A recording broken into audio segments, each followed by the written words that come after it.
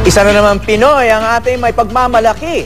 Siya ang kauna-unahang nanalo sa cable reality show na The Apprentice Asia. At makakasama natin siya mismo ngayong umaga ang Filipino Apprentice Asia winner, Jonathan Yabot. Good morning, Jonathan, and congratulations! Salamat. Good morning po. Congrats, uh, Jonathan. Pero hindi lang yan.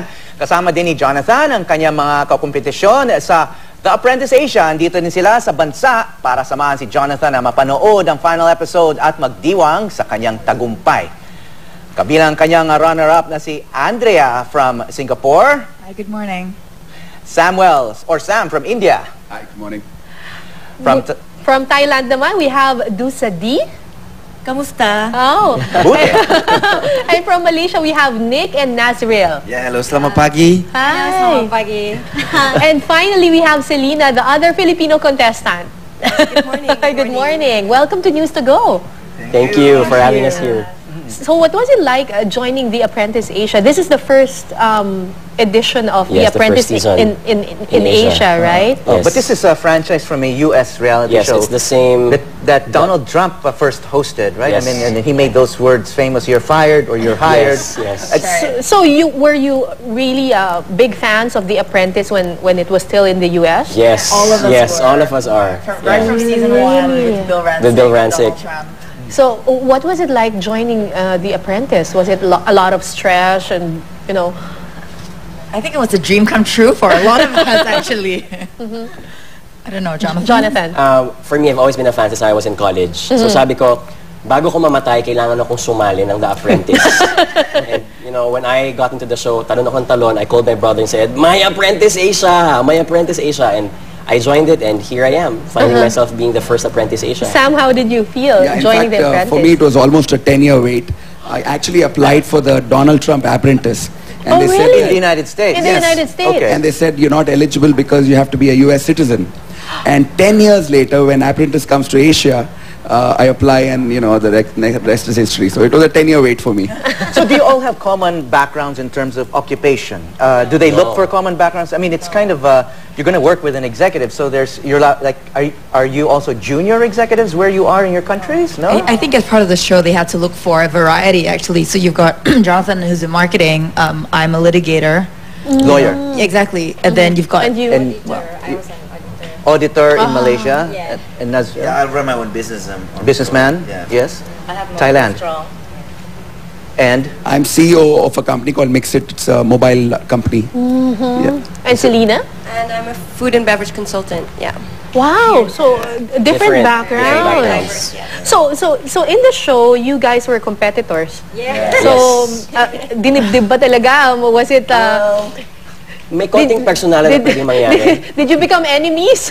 yeah, but I think we're good friends now. But in the show, obviously, you know, personalities will clash. frenemies. Frenemies. so who was the most difficult to deal with? okay, okay. Okay, privately. Yeah, Andrea? Was it Andrea?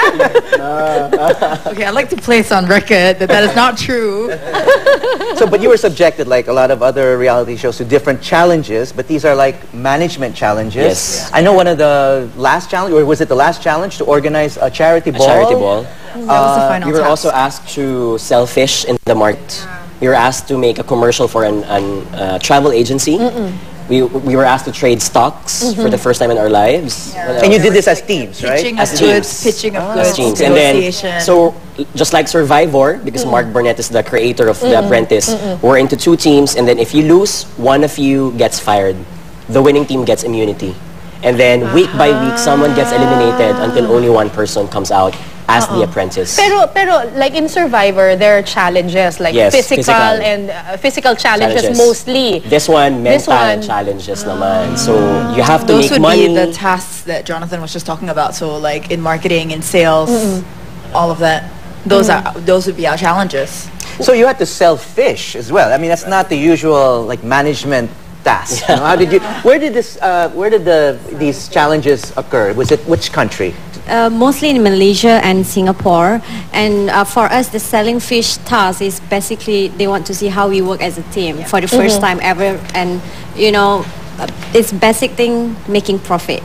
So it has to be like a very simple and basic challenge. But wouldn't that be an advantage for you to sell fish in Malaysia since you're Malaysian and you'd be Uh, able to well- negotiate better?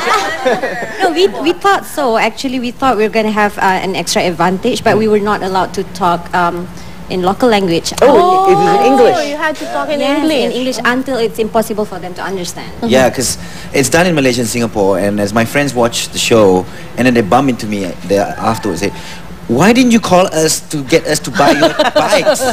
Call me, I'll buy your bikes." But there was it was not uh, Not allowed. Okay. Yeah. They built in rules to make sure that Yes. you didn't get Yes. ex- What, lot of yeah. rules. Yeah. what are a lot of rules. What are some of the most unforgettable experiences that you had in, in the show? Getting fired. Getting fired!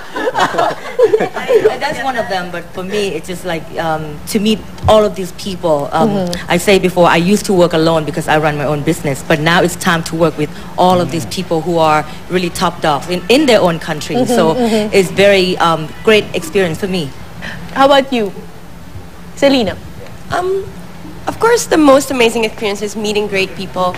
I think what came out of it was really an internal change that happened in all of us. I think a spark was ignited in all of us, a passion, um, a desire to be better than just um, drifting through life. Now we have um, more meaning. I think we have a reason to do things uh, with much more should I say gusto with more um, you know passion and we were really inspired I think um, we all moved each other and we all were able to touch each other's lives in many ways and I think that was the most memorable How much thing. time did you all spend with each other? 24 hours.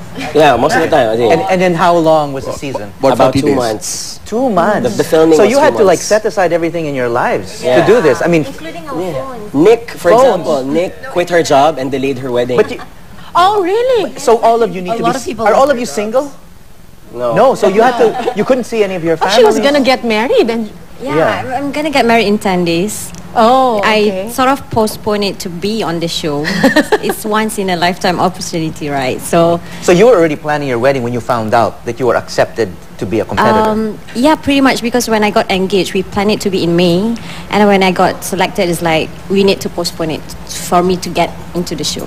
okay. Well, I, I, I hope your your fiance understood your Oh reason. yeah, I'm thankful to have him to understand this bit, you know. Okay, Jonathan, cum laude graduate ka pala sa UP Diliman sa Yep. kursong BS Economics and you're also senior product manager of a, an international pharmaceutical company, right? Yep. Nakatulong ba ito para manalo ka Ah, sa The Apprentice? Definitely. Maraming mga taga-UP na palaban. So every time I go to the boardroom, you know, whatever, you know, if someone barks, I bite at them. and I think being from a pharmaceutical company, we've always been taught the value of leadership, value of influencing people, and that helped me a lot. And the prize is you get to work with Tony the prize is a hundred thousand US dollar contract for one year, and you get to work for Mr. Tony Fernandez. In in this case, the contract I signed for him beginning August 15 is for Air Asia as chief of staff. And just for the information of viewers, Tony Fernandez was the host, The host of the show, the and he's also CEO the CEO of, of Air Very- Asia. Anong Filipino trait ang sa tingin mo ah, nagpapanalo sa'yo? Um, madiskarte. Madiskarte. Madiskarte ang Pinoy. Kung walang solusyon, megong hahanaping solusyon para dyan. So how was it like uh, being with John, you know, competing with Jonathan? Was he, you know, super duper competitive? Was he a dirty player?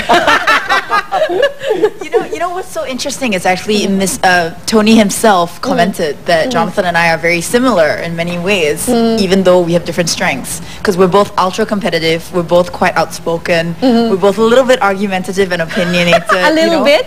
and You we're both very creative and strategic. So it was an absolute. It was so funny because Jonathan and I were on the same team for the majority of the series, and then mm-hmm. suddenly we get to the end together, and it's like now we fight. so it was it was I, I mean I had to adjust to it, you know. But um no no better person to lose to, really. Oh, Good. Yeah. Very sportsmanlike. so w- what's next for you guys? You, you well, you're getting married. Getting Getting married. married, and um, I got a job with uh, one of the CEOs coming in to interview the top four. Oh, yeah, really? so, So it created opportunities for you. Yeah, thankfully, and um, I'm I've been working for them for a week now, so that's the plan for now, um, and we'll see how it goes after that. Yeah. Right. And you're, are you guys, you're recognized on the street in Malaysia now? Um, yeah, somewhat, which is which is quite cool. Oh, you're a celebrity now. Maybe change Or of even uh, before. career. Yeah, even before Nash is. I did some of those stuff on TV, and, and they ask me why. Why do you do this? I waited. I'm thinking of waiting for the celebrity version, but I don't think it'll come. so I might just do this now. you know. So for now, um, I'm, I'm I'm focusing. We just started a uh, training company called Explosive Minds Asia. We've got four trainers, and we we want to do a lot more training um, for for people. Yeah. So that's for me. Uh, for me, I still have my restaurant, and I was um, I'm creating my own clothing line for like curvy Asian women. You know, because as you can see, I'm big and taller than anyone else. so I, it is so difficult for us, like a little bit bigger Asian women, to find clothes. We have to go to retail store, like the big expensive Western store. So I'm thinking that this is the time to create something. Are you, going, do- are you wild going to heart. incorporate this experience in your Yeah. branding? Like, oh, you know. Of course, because all the experience will come out. You know, like your style comes from inside, and I, I want to share that with people who's, you know, about who who watching us. Yeah, and I got a role to be uh, the chief operating officer of a technology company called Mixit. Uh, and this actually works in a space uh, of feature phones. So in India, 550 million people uh, who are in the tier 2, tier 3 and slightly underprivileged people now can experience the power of a feature phone uh, that converts via Mixit into a smartphone. So they can do mobile banking, uh, they can do a WhatsApp kind of a feature among feature phones, no, normal phones, you know. So I'm really excited about the opportunity in India. Uh, 550 million people op- opened up uh, via this Mixit platform. So I'm really... and were many people watching the show in India? Oh, there are tons of people. I mean, it's like 32 million... Uh, uh, Wow, you have a lot of fans. So that should also help your company as well. Ironically, a- apart from India, uh, my second biggest, largest fan base was Philippines, actually. wow. Oh, okay. Mhm. And Selena?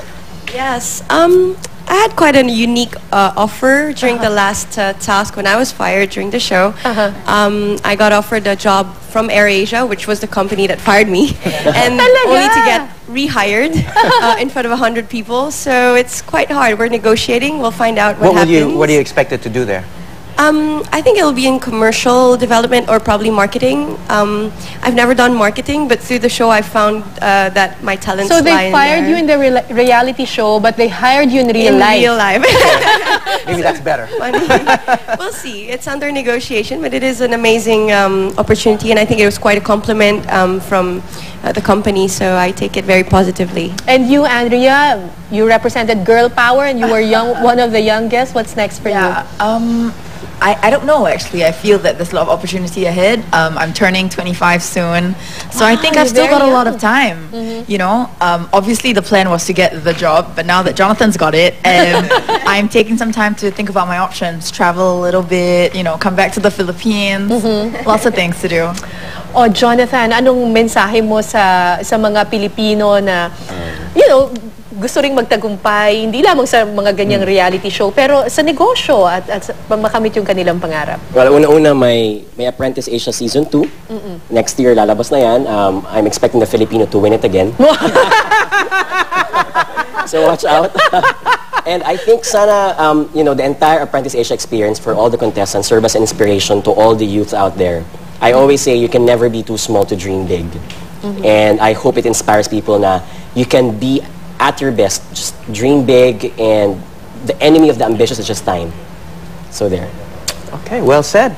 All of you, all of you. Congratulations. Yeah, congratulations at maraming salamat Jonathan Yabut, ang kauna-unahang winner sa The Apprentice Asia. Maraming salamat din kina Andrea, Sam, D, Nick, Nazril, and Selena.